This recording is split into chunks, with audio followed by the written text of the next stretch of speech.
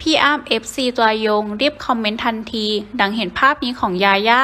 ล่าสุดก็ฮือฮาอีกครั้ง ด้วยสาวยาย่าได้โพสต์ภาพใบหน้าสวยๆของตัวเอง กับเครื่องหน้าฟ้าประทานเป๊ะปังอย่างไรที่ติ แม้แต่สุดตาตัวแม่อย่างอ้ำพัชราภา เห็นแล้วยังอดคอมเมนต์ชื่นชม ส่งหัวใจกันรัวๆเรียกได้ว่าพี่อ้ำนี่แหละค่ะ แฟนคลับตัวยงของน้องย่า